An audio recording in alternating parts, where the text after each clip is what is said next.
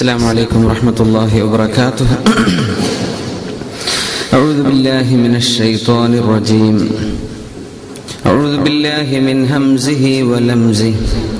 ونعوذ بالله من همزات الشياطين. ونعوذ بالله أن يحضرون. اللهم لك الحمد كما ينبغي لجلال وجهك وعظيم سلطانك.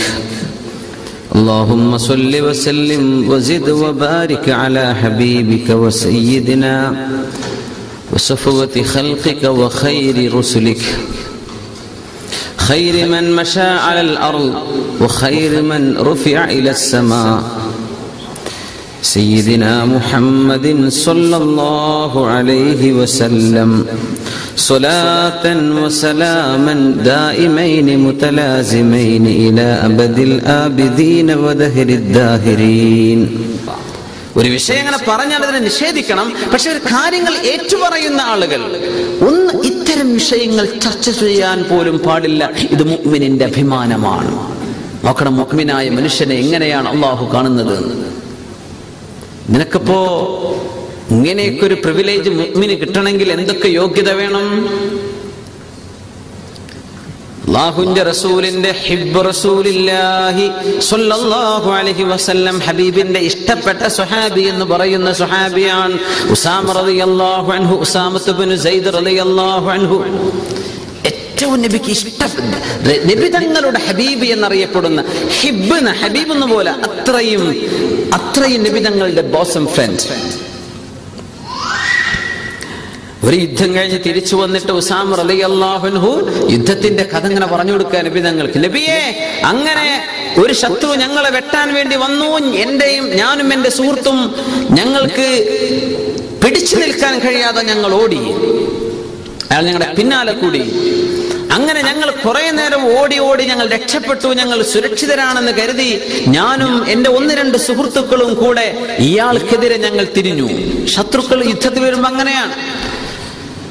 ഞങ്ങൾ തിരിഞ്ഞു ഞങ്ങൾ അയാളെ വെട്ടാൻ പിന്നാലെ ഓടി ഈ മനുഷ്യൻ ഓടാൻ കഴിയാതെ തന്റെ കയ്യിലെ വാൾ ഞങ്ങൾ ഇങ്ങോട്ട് വെട്ടാമെന്ന മനുഷ്യനെ ഞങ്ങൾ അങ്ങോട്ട് പ്രതികരിച്ചപ്പോ തന്റെ കയ്യിലുള്ള വാൾ പോലും അയാൾ ഒരു വൃക്ഷത്തിന്റെ മുകളിലേക്ക് വലിച്ചെറിഞ്ഞിട്ട് പറഞ്ഞു ലാ ഇലാഹ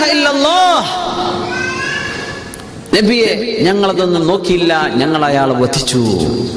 അള്ളാഹുവിന്റെ റസൂൽ മുഖം അങ്ങെടുത്തു أقتلته بعد أن قال لا إله إلا الله لا إله إلا الله എന്ന് പറഞ്ഞതിന്റെ ശേഷം നിങ്ങൾ അയാളെ കൊന്നോ ഉസാമ നബിയെ ഞങ്ങളെ ഇങ്ങോട്ട് കൊല്ലാൻ വന്ന ആൾ ഞങ്ങളെ വധിക്കാൻ വന്ന ആൾ ഞങ്ങൾ ഇന്ന് രക്ഷ കിട്ടൂല എന്ന് വിചാരിച്ച് പറഞ്ഞു പോയ വാക്കല്ലേ തങ്ങൾ പിന്നെയും ചോദിച്ചു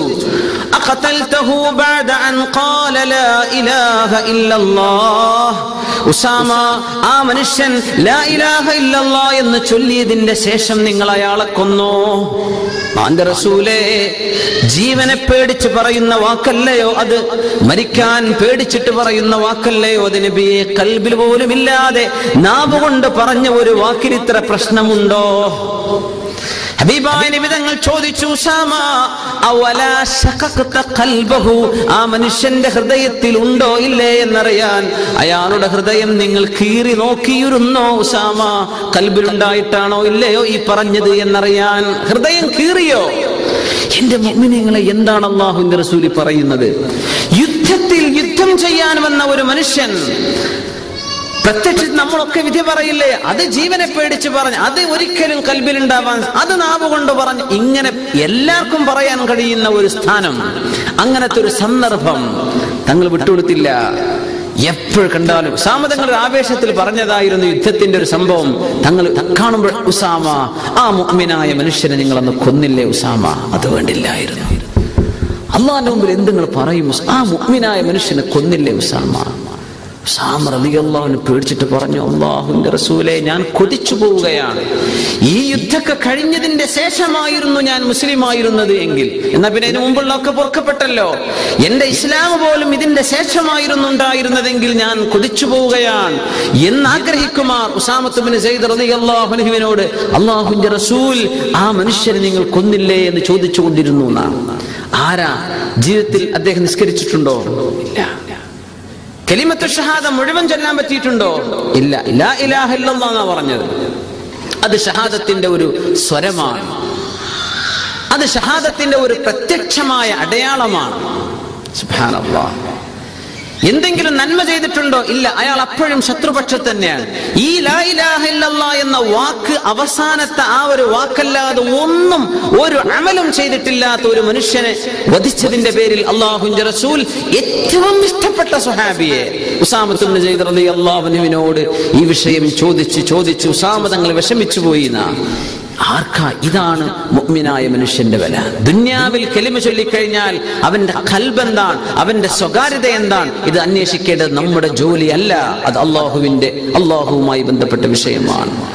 പ്രത്യക്ഷത്തിൽ മുസ്ലിമാണോ? മുസ്ലിമിന്റെ രക്തം അവന്റെ അഭിമാനം അവന്റെ സമ്പത്ത് ഇതിന്റെ സുരക്ഷിതത്വം അള്ളാഹു കൊടുത്തതാണ്. നമുക്കാർക്കും അത് പിച്ചു ചീന്താൻ അവകാശമില്ല. ജനങ്ങളുടെ അഭിമാനത്തിലേക്ക് ഇടപെടല്ലേ അള്ളാഹു താല പഠിപ്പിക്കുകയാണ്. എന്തൊരു ഗൗരവമുള്ള ചർച്ചകളാണ്. അള്ളാഹു നിങ്ങൾക്ക് വഴത് പറഞ്ഞു തരികയാണ്. എന്താണ് ഈ വഅദ് എന്ന് പറഞ്ഞാൽ?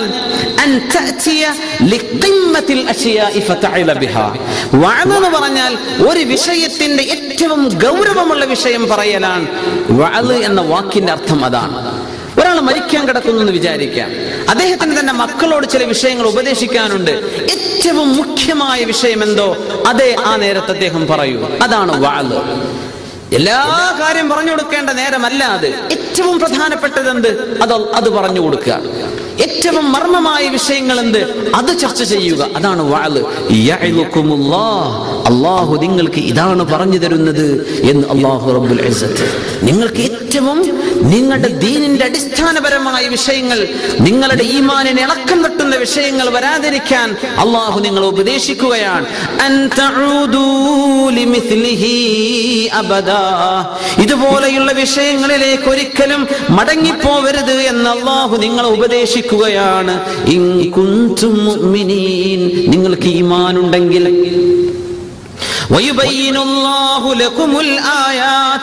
അള്ളാഹുവിന്റെ ദൃഷ്ടാന്തങ്ങൾ ഒന്നൊന്നായി അള്ളാഹു നിങ്ങൾക്ക് വിവരിച്ചു തരുന്നു.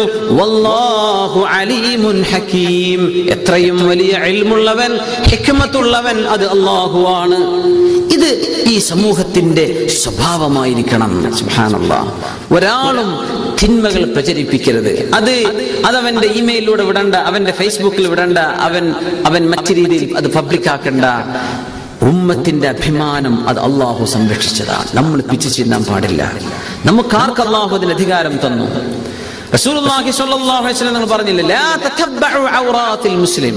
മുസ്ലിമായ മനുഷ്യന്റെ സ്വകാര്യതകൾ നിങ്ങൾ പോയി അന്വേഷിക്കല്ലേ? ഓൻ എന്താ ഇപ്പൊ ചെയ്തത്? ഓൻ ഇപ്പൊ ആർക്കാ വിളിച്ചത്? ഓനിപ്പോ എവിടുന്നായി മെസ്സേജ് വന്നത്? ഇത് നിങ്ങൾ ചകഞ്ഞ് അന്വേഷിക്കല്ലേ? ഡോൺ സ്പൈ നമ്മൾ ഈ സ്പൈന്റെ ജോലി നമ്മൾ ചെയ്യണ്ട. അത് നമുക്ക് നമ്മളോട് അള്ളാഹു പറഞ്ഞതല്ല. നീ നിന്റെ അമലുകൾ നോക്ക്. ഓരോരുത്തരും അവനെ അവനവന്റെ അമലുകളെ സംബന്ധിച്ച് ബേജാറാവണം. എന്റെ അവസ്ഥ എന്താണ്? എന്റെ കാര്യം എന്താണെന്ന് ബേജാറാവണം. മറ്റുള്ളവരിലേക്ക് നോക്കി അവൻ അപമാനിക്കല്ലേ? മുസ്ലിം. മുസ്ലിമായ മനുഷ്യന്റെ സ്വകാര്യതകൾ നിങ്ങൾ ഇടപെടല്ലേ? മുസ്ലിം. മുസ്ലിമായ ഒരു മനുഷ്യന്റെ സ്വകാര്യതയെ പിച്ച് ചിന്താൻ ഒരാൾ ഉരുമ്പെട്ടാൽ അള്ളാഹു ആ മനുഷ്യനെ നാണം കെടുത്തും സ്വന്തം വീടിന്റെ നടുക്കളത്തിൽ വെച്ചാണെങ്കിൽ പോലും സ്വന്തം വീട്ടുകാരുടെ മുമ്പിൽ അപമാനപ്പെട്ടു പോകും. മുഗ്മിനായ ഒരു മനുഷ്യൻ അപമാനിച്ചതിന്റെ വസല്ലം. അപ്പോ നമ്മൾ ഒന്നുകൂടെ അങ്ങ് ഇരുന്നങ്ങനെ ആലോചിക്കുക. നമുക്ക് ആവേശമാണെന്ന് തോന്നുന്ന പല വിഷയങ്ങളും ദീനിന്റെ ക്രൈറ്റീരിയം വെച്ച് ചിന്തിക്കുമ്പോൾ ഹൈറാവില്ല. ആവേശമാണ്.